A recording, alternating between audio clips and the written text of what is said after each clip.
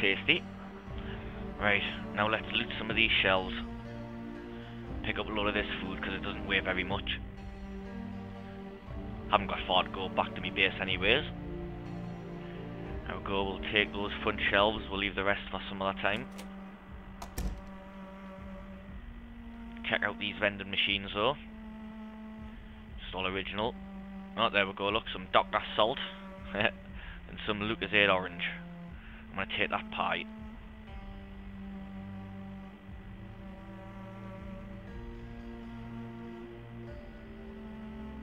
Actually, I want to go back in here. I nearly forgot.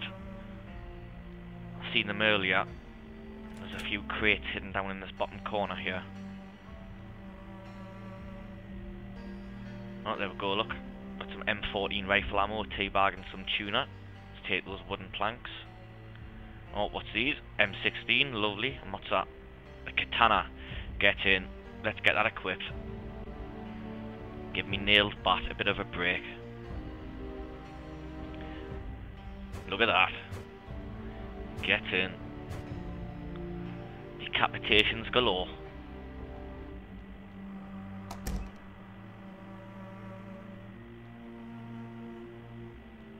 Right, let's have a look in this large building here.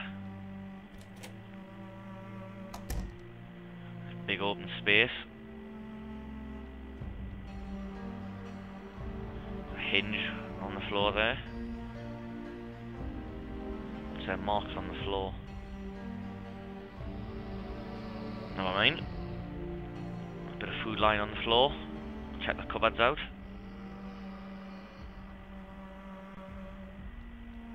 Nothing special in there really. In here? No. I think I've got enough medicine for now, there's no point looting them. Let's have a look in this bottom room, there's a few crates in here if I remember rightly. Yeah. M16 tuna, I've already got an M16, I'll not, I'll not bother with another one. Some Garand ammo. Tea bag, tuna. Some coffee.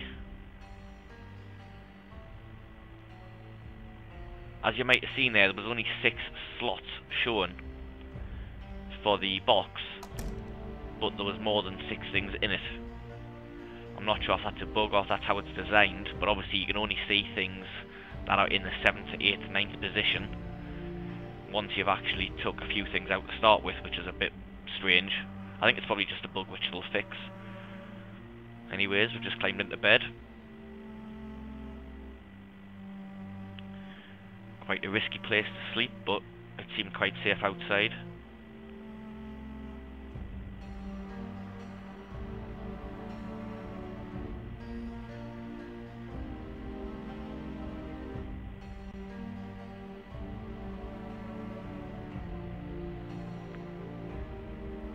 Nice, calm, relaxing music there.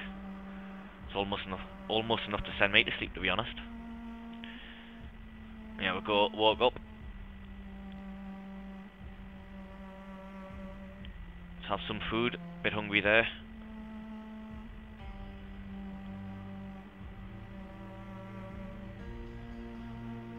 There's my trash can. I forgot all about that. I haven't shown you my trash can. But anyways, let's show you how to open a tin of tuna. If you don't already know. There you go. Tin opener and tuna gives you an open tin of tuna. Just scroll down to the bottom of our inventory. See it there, open tin of tuna. Eat that. Lovely jubbly. Have a bit of pie for dessert, eh? Let's pick up that M16. A few other things. Let's try and take it all back home, stock up to the max. Why not? I'm over encumbered, but I haven't got too far to go.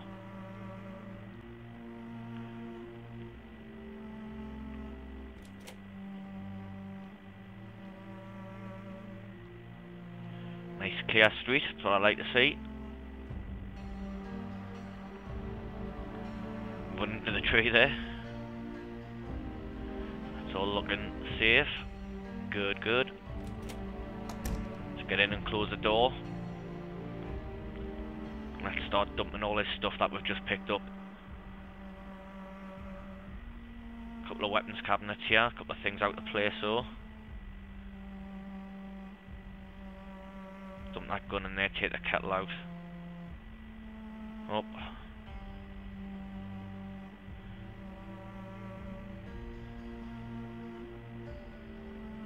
Let's try and get all these in order instead of just throwing them all in willy-nilly.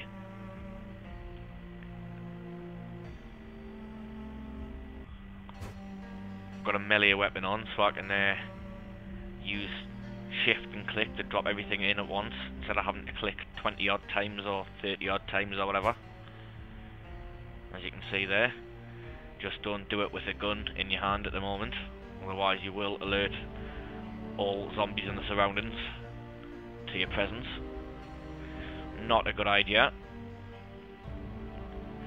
as you can see I'm just dumping some stuff here. Let's show you how the bin works. The trash can. Food item and the trash can and you just get the trash can back. So as you can see, I've basically thrown away an item. The only downside of this is it is unrecoverable once you do it. But it is only really used for a, a last ditch situation to be honest because let's be fair, you wouldn't really want to throw anything at all away in this kind of situation just in case. But if you do need to drop something to run away faster, you have got that option now.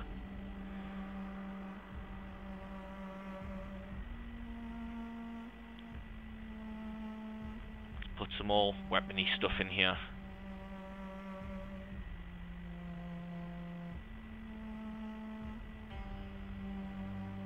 Gonna run out of space quite quickly here run down this end, see if I can drop some food in here. Oh Christ, there's still some stuff in here to pick up as well, man. Let's pick it all up, and then we can sort it all out. It's really quite annoying how hardly anything is actually stacking at the moment. I think that's down to the different temperatures that the different foods are at. But obviously again, that is going to be something that gets fixed in future updates so we can all wait eagerly for that. Be able to manage your inventory a lot, lot easier.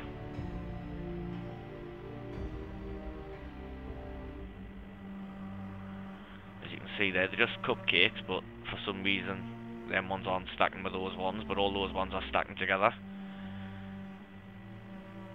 Never mind.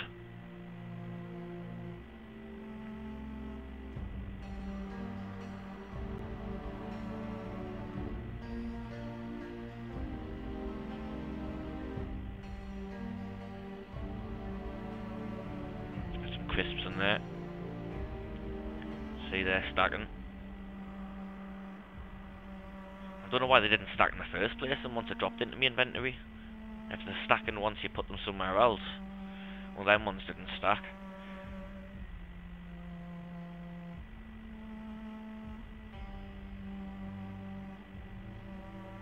Let's get some tuna in there and some tea bags. Aye, why not some peas? some beans.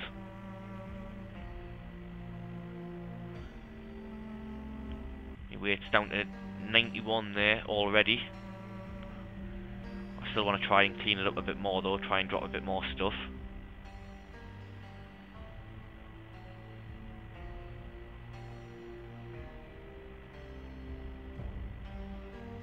As you can see, it's taken up almost half my day so far just doing this. But obviously it is one of those things that would have to be done. Adds a lot of realism to the game. Quite therapeutic as well, I find, to be honest.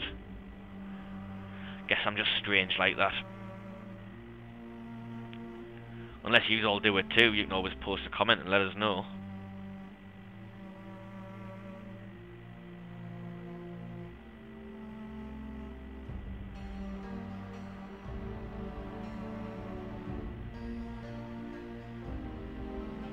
take that one out of there. I'm sure I've got some stacked up. No, let's use it on these windows. That's what I want to do. I want to get some windows boarded up. Let's get some nails out. Equip the hammer. Get the boards in my hand. I'm greeted by some lovely loud noises and a progress bar. I've only got three planks of wood, so I can't even board this window up fully.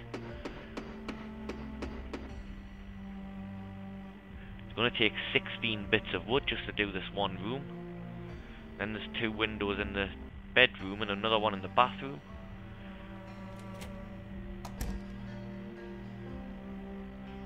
I think I might have to use sheets at some point. Anyways, it's only 20 to 4. Let's get out while there's a bit of daylight remaining. Dropped a lot of me loot there, so let's go and get some more. Make me hide hideout sustainable for as long as possible.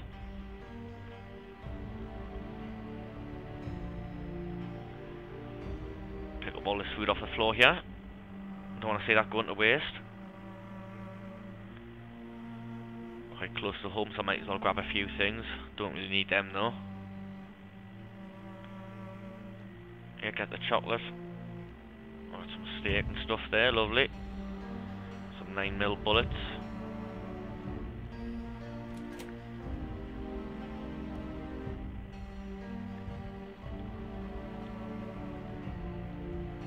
A bit off, isn't it? Oh, I'll have to get that fixed.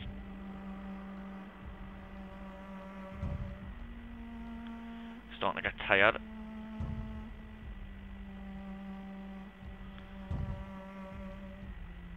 Let's have a look in this upstairs kitchen. Shark a zombie banging somewhere.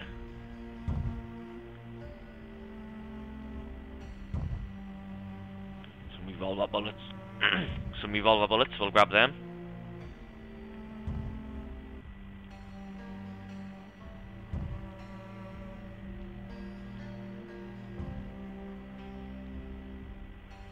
Is he at this door?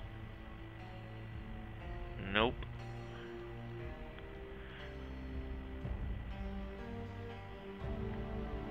Ten past six. It's gonna get dark soon. Don't know if I should. Oh, that one's locked. I was gonna say I don't know if I should run that too far, really.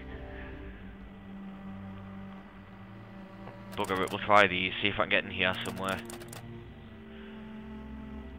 No, Oh, these, uh, you can't get around the back of these ones.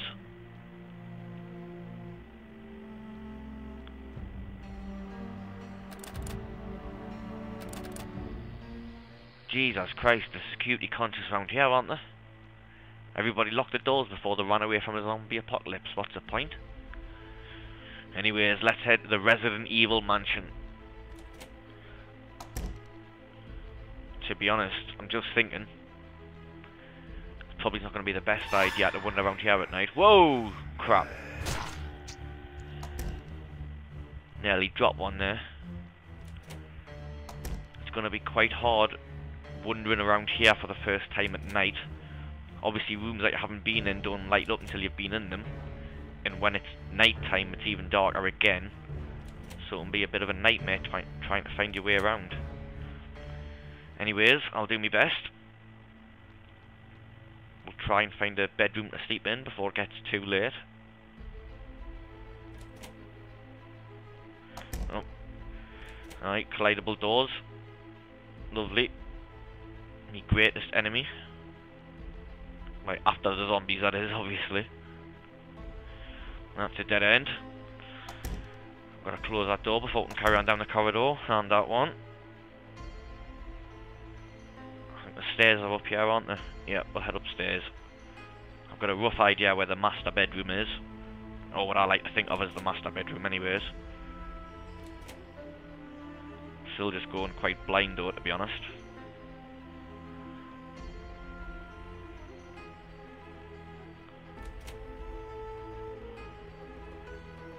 Yep, it's getting very dark now. Oh, I think I found it. I think I'm there. Hallelujah. Found a bed for the night and only took us an hour and a half of wandering around the house. At least, if not longer than that.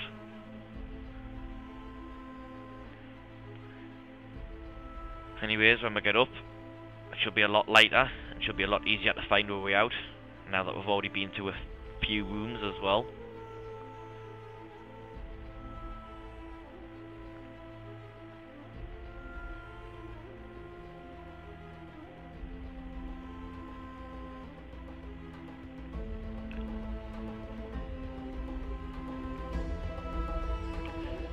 There we go, 7 o'clock.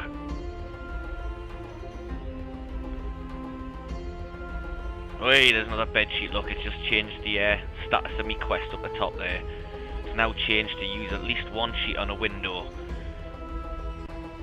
This is where my quest stops at the moment because it is waiting more commands to be added to the modern capabilities before I can continue and before the game finds out that you have actually used a bed sheet on a window or a plank of wood on a door or a window. So once um, added modern capabilities are in, the story will be progressing. And obviously by then we're going to have a lot more functions for NPCs as well. So obviously you're going to add those into your characters that you add into the game. Make them all different characters and have them all dif different traits and everything like that. So it should make it a lot more interesting.